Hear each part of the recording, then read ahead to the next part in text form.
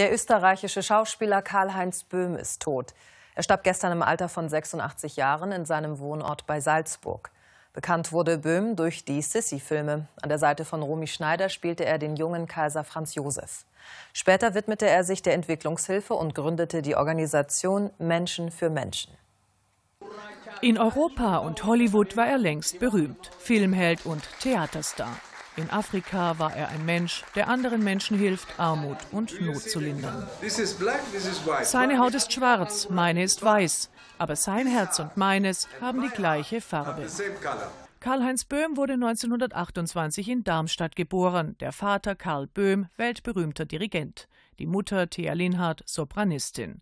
Die vielreisenden Eltern schickten den einzigen Sohn auf ein Schweizer Internat, wo er sich einsam fühlt, aber vor Hitlers Zugriff auf die Jugend geschützt ist. In den 50ern der Durchbruch. Böhm als österreichischer Kaiser Franz Josef wurde mit seiner Sissi Romy Schneider zum Traumpaar des Nachkriegskinos. Romantisches Klischee, auf das sich beide nicht festlegen lassen wollten. Böhm suchte die sperrigen Rollen, drehte mit Fassbinder, findet ins ernste Fach zu sozialpolitischen globalen Fragen und ist geschockt von der Armut in Afrika.